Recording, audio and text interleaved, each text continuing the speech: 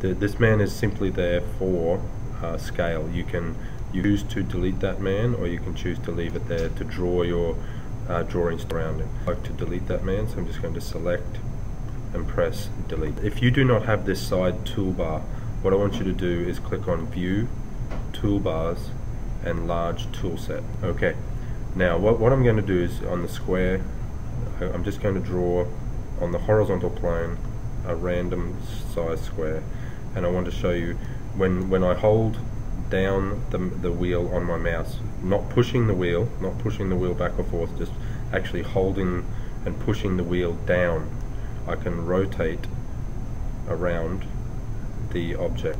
So you can imagine this is like a piece of paper sitting on a table that you're about to draw on on the horizontal plane. You can spin all the way around from any angle um, I'm just showing you basic skills. This is why a mouse is much easier. You can then use the, the wheel on the mouse and just zoom in and out. Pressing on this hand button, the pan, panning can, can take the your drawing sideways across the page or up and down as well. Okay. Now what I want to do is um, I'm going to show you the basics of drawing a house. Now what we're going to do on the toolbar at the top there's many different tools there you can go through and learn. On this tutorial we're just keeping it very basic. We will learn some of these other ones here on future tutorials. Here push it's called push pull which you click on that and when you come over to to your drawing you'll see okay when you see those blue dots I want you to hold down your left mouse button and pull it up. Okay? You can spin it around and you can see that you then have like a rectangular prism shape. Okay? Now if I if I want to change any part of my drawing and undo, I can edit, undo, push pull and take you back to the last part. Now I'm, I'm going to change the design a little, so I'm going to put like an extra little room onto my house here. So I'm going to bring it out like so. Alright. Panning across and zooming in is just simply two, two rectangles there. I can hit on the erase button and I'm going to erase that center line. Okay. Now, what I'm going to do is, again, I'm going to pull this up.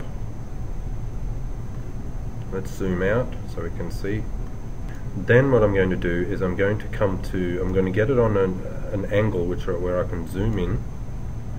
And I'm going to get this button here called offset. Offset will allow me to a shape the same as the one that is there inside. Okay, so I can click on the edge and you'll see it, it just it just brings it into any size you want there. So I'm just I'm drawing the external walls here obviously. So I'm just clicking on like that. Okay. Then I'm going to zoom around, you can see. Now quite magically I'm going to now use the push pull button and I'm going to push this section down. Okay, quite often you'll see you can easily go too far and push it go right through to the floor like so. You don't want to do that because you can see straight through and you need a floor section there.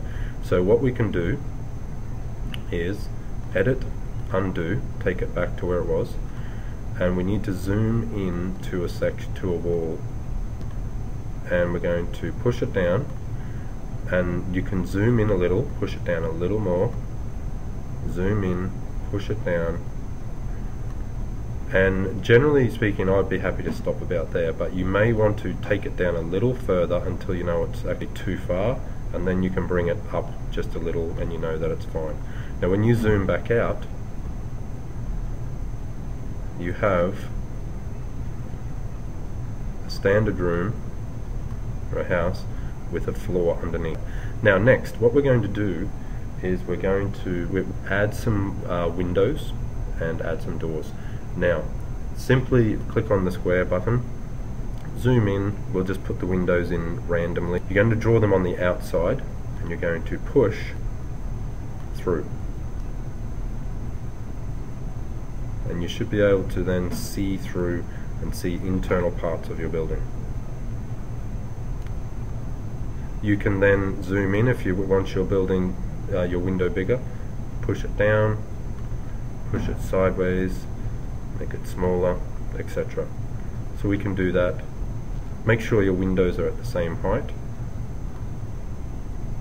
You can put windows around your building, push them through, etc. all the way. Now to add a door, what I'm going to do is the, the doors um, are best drawn from the inside and pushed out. The reason for that is if you look, the floor is actually higher than the ground. So if you were to draw a door on the outside and push that through, you will see it actually hits the floor there. So what what is the best the best thing to do is uh, come around into the room, draw a door from the ground from the floor up, and then you push it through. Let's make a little step. So continue to do that, put in as many windows and doors as you want onto your house, onto your room, and then we move on to adding color. Now to add color, you simply click on this yellow, this paint bucket. I'm going to add brick and cladding to the outside, a brick house, and I like the look of that one.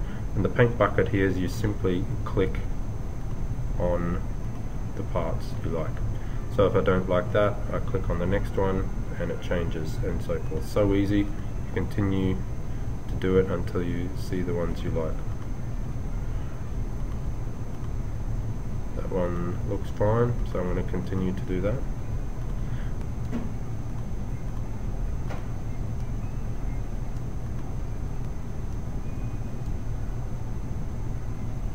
You can see when I'm zooming in and out by scrolling the wheel on my mouse I can zoom in to specifically where I put the cursor. So for example, if I want to put the paint onto this part of the wall, I zoom in according to there and put it on. I can zoom out, put the cursor there, zoom in, touch it, zoom out, and so on. So what I'm going to do is, is draw come around to a top view, spin it so I can see, draw a square or a rectangle shape around to any size which you wish. You can see it's on the horizontal plane so it shows it's on it's in the correct place. We're going to come here and we're going to go to vegetation and choose a grass. Okay, from there you can draw other features such as a fence so again I'm going to draw it doesn't matter with the size of it we can draw it big and, and push and pull it all in later so draw a square a rectangle sorry down there lift it up to fence height roughly push it in. Let's zoom in and see if it's sufficient. Down a little.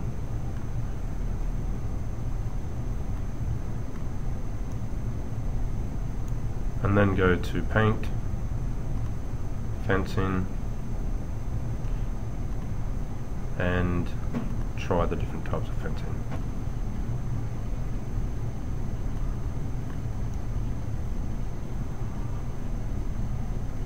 And there you have a basic house with garden and fence.